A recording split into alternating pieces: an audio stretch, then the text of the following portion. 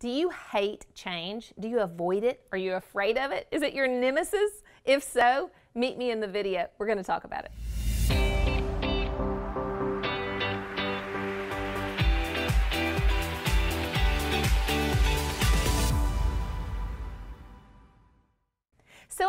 Not that afraid of change, but my husband, a different story. I mean, he doesn't even like me to move a chair in the room. He comes in, he's like, "Babe, where's the chair?" And I'm like, "Oh yeah, I forgot to tell you, I moved it." He's like, "Like seriously, why?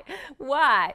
But you know what? Change like that maybe is optional, but in life and in business, change is inevitable. We can't avoid it. It's happening whether we like it or not. I read an article recently where Jeff Bezos said the better question for Amazon and really the world is not what's changing, but what's not changing. And I think that's so true. So, what's not changing, hopefully, are your values in business, but pretty much anything and everything else is fair game for change.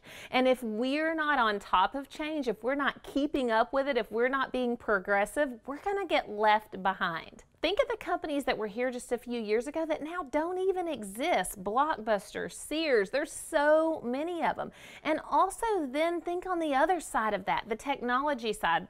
The iPhone, the smartphone is only 10 years old, but it has revolutionized the way we live every single day. There's almost nothing in my life that I can't automate these days. Amazon can have anything I ordered on my doorstep by tomorrow. My groceries get delivered. I mean, it is crazy the way that the world works today. And if you're in a service business and you think this stuff doesn't apply to you, then you are absolutely wrong. You don't want to find yourself in the place that Blockbuster did. So let's figure out how to make change part of your daily strategy. So, where could you change or even automate in your business? Is it with the service delivery? Is it how you meet your clients where they are and what their needs are? Is it your business model? Is it the way you charge? Really being excited about change is going to help you move forward with so much less fear. And this is what we do in my Design You coaching program. We go into all of these aspects and figure out how to innovate.